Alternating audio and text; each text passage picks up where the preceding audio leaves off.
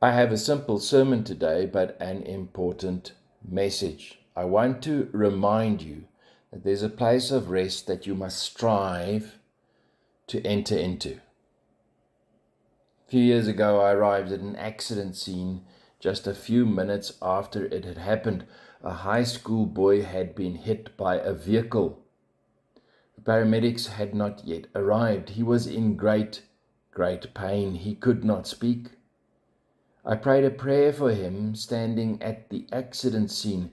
I asked God that this young man would live, not die. I prayed earnestly, but my prayer was not granted to me. He passed away later, and somewhere those who took care of him got the terrible news of his death. Now, I'm not sure if he was a believer, nor am I sure whether those who cared for him were believers. But what I do know, what I am sure of, is that if he was a believer, that he is now in the place of greatest rest.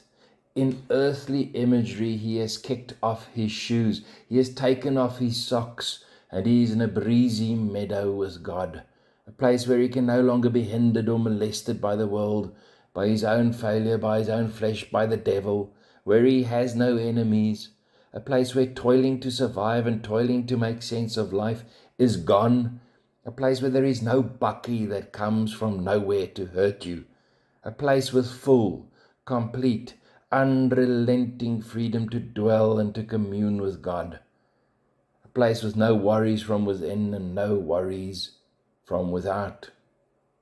You see, there is a great promise that God Himself makes to every believer and that is the promise of rest, the promise of rest. Jesus says, Come to me, all you who labor and are heavy laden, and I will give you rest. Matthew chapter 11, verse 28. In our text today, Hebrews chapter 3, running to Hebrews chapter 4, the promise of rest is discussed and when you consider it, you understand that the fullness of that promise is not now, the fullness is in the future, at the end of our lives. Then we enter into it, into the completeness of it. Maybe one of the greatest errors we make as believers is to think that when we were born again, our lives should be free from all substantial trouble and toil and suffering. And maybe the second greatest error of our generation is that we try to sidestep trouble and toil and suffering instead of going through it by faith as a passage. The writer of the letter to the Hebrews corrects that error. In our text, he reminds us that we are just like the Israelites in the wilderness before they entered the promised land we are like them also in Exodus. You see, the Israelites were saved from the bondage of Egypt, just like you and I were saved from the bondage of our sin and death when we believed. And as the Israelites entered the wilderness with trials and temptations on their way to Canaan, so too you enter the wilderness after being saved, with its trials and temptations on your way to God's promised rest. In fact, the true church, made up of all those who have been born again by faith, is a wilderness generation. We are aliens, travelers who must face the hardships of the wilderness. We are pilgrims, citizens of heaven, not earth. We are passing through the wilderness on our way to the promised rest. We need to grapple with that reality. And I want you to notice that it's not uncommon for New Testament writers to regard the Christian life as a new Exodus. Luke describes Christ's death in Exodus terms. Luke chapter 9, verse 31. Paul declares Christ to be the Passover lamb. 1 Corinthians 5, verse 7. Peter says Jesus is the lamb without blemish or spot. 1 Peter 1, verse 19. We as the church are a wilderness generation. When we come to faith, we make a decisive start at the beginning of our faith journey. But I tell you, that is not enough. I'm aligning myself with another commentator. He says, and I agree, that start must be followed by continued faith and steadfast obedience if we are to pass through the wilderness into the great rest. Because the difficult wilderness journey to the promised place of rest starts directly after our conversion. And our faith is tested as things happen to us that are not easy to understand or explain. A bakkie comes from nowhere and causes me, a Christian, much pain. My marriage is not as I expected, even though both my wife and I are believers. I struggle financially, I can never get ahead. I struggle with my health. My child loses his way. My parents get old and I must take care of them, but I don't have the money and I don't have the time and I don't know how I'm going to do it. The world around me rejects my God and expects me to do the same. One day I wake up and find out that cancer has come to someone whom I love and cherish. Difficult things happen in our wilderness journey and we are not exempt.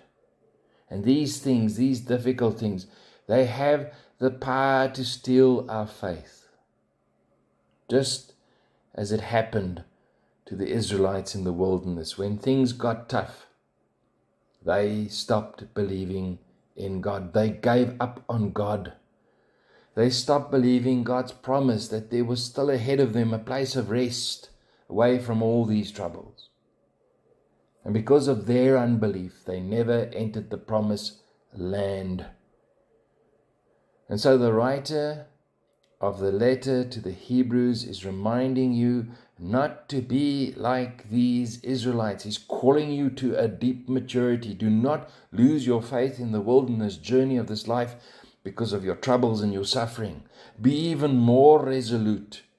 Push on, push through, keep the faith, lest you lose your rest. Be like Joshua and Caleb, who did not fear the giants when everybody else did. Be mature, do not grumble in your wilderness circumstances. Count rather your blessings. Stir up your spirit with the promise of rest, rest that lies ahead. Keep your faith to the end. The writer of the letter to the Hebrews says this So then there remains a Sabbath rest for the people of God. Whoever has entered God's rest has also rested from his works as God did from his. Let us therefore strive to enter that rest, so that no one may fall by the same sort of disobedience. Do you know that God rested on the seventh day after he had made creation?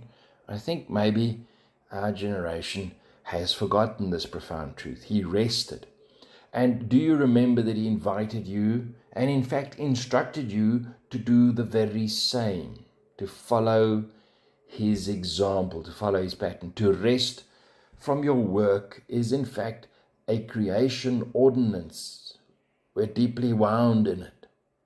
And this creation ordinance to rest is confirmed later on in the fourth commandment in Exodus chapter 20 and Deuteronomy chapter 5. The foundation of that rest being God's rest from his work in creation and God's rest from his work in our salvation. And you are invited to enter, to share, and to celebrate that rest.